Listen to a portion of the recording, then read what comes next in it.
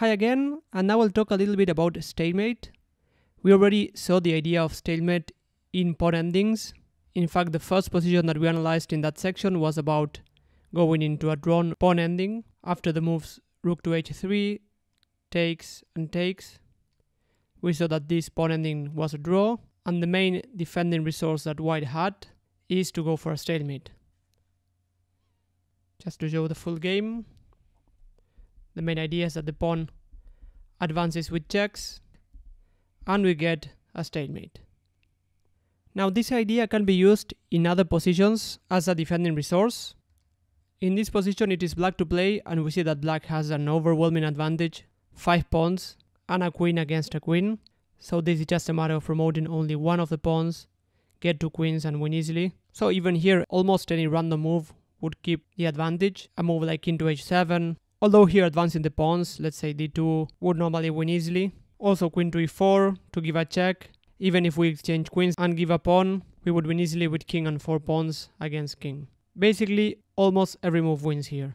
And in fact, in this position, it is very common to relax a little bit and just play without too much thought. And here black played the move queen to c3, which looks logical because if white exchanges queens, then it's just an easy win. But here, white had the very forcing move, queen to g8 black doesn't have any other choice than taking. Unsurprisingly, we see that white now doesn't have any square to go. All squares are controlled either by the queen or the pawn. And this is just a draw. Here we have a position in which white also has a large material advantage. Three pawns and even a queen against a rook and a bishop. And here again it's a matter of taking a look at our opponent's resource. If our opponent has any forcing reply, any trick actually. Here white could have played many moves but for instance, queen to f8 is a move that I like because we always speak about the ideas of attacking pawns, also planning to play the move d6. But here white probably was a bit confident and played the careless move d6. Which looks like a very logical move. We just plan to give a checkmate in one. But here, after the forcing move bishop to c6, white basically doesn't have any choice than to take the bishop.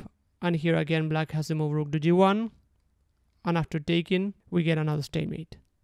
Now another common and very specific idea is to go for a drawn bishop plus rook pawn ending. So there the stronger side has a huge material advantage, but there are specific cases on which the stronger side has what we call a bad bishop. This position it is white to play and this looks desperate because black is about to promote. But here white played the move king to d3 attacking the pawn and after black promoted the pawn, white gave his bishop but white's idea would be to come to h1 with the king and keep the king on h1, g1 or h2. And black will be unable to promote the h-pawn.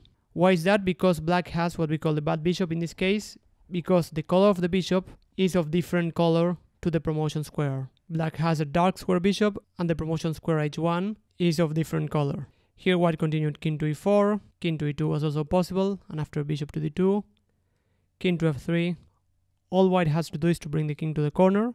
King to f5, king to g2, king to g4, king to h1, king to f3, king to h2. And here black could have taken the pawn here or before. If black takes the pawn, then we get this drawn ending on which black has a wrong bishop. For instance, after king to h1, h5, basically white will keep on playing king to h2, king to g1, king to h1, keep the king in the corner. Let's say king to g1, h4, king to h1, h3, king to g1, king to g3, and after pushing the pawn, it is a stalemate. If white here, for example, had a bishop on h5, black would give a check, kick away the king, and then push h2 and win. The game continued bishop to f4, king to h1, and after king to f2, here white's only move to play g6, but after taking the pawn, it's a stalemate. Now it's important to notice that white gives the pawn only in a position on which he gets a stalemate. If white plays the move g6, let's say a few moves before, for example here, this would be very bad because here black would take, and now we have a g pawn and not an h pawn, and this position is not a stalemate. And here black would win easily by pushing the pawn, no matter where he has a dark square bishop or a light square bishop. This is not an h pawn, so here black would win easily. So we already saw the idea of stalemate in pawn endings. This is a very common defensive resource. But stalemate can also be used as a defensive resource in other positions. So whenever we have an advantage, no matter how large the advantage is, we should always be careful and watch out for forcing moves that our opponent might have. Or if we are defending, we might look at this idea of trying to force a stalemate. And last, stalemate is a common resource in bishop plus rook pawn, but here it only applies to cases on which the stronger side has the wrong bishop, which is a bishop with a different color to the promotion square of the rook pawn, and the defending side manages to get the king in the corner before the pawn advances.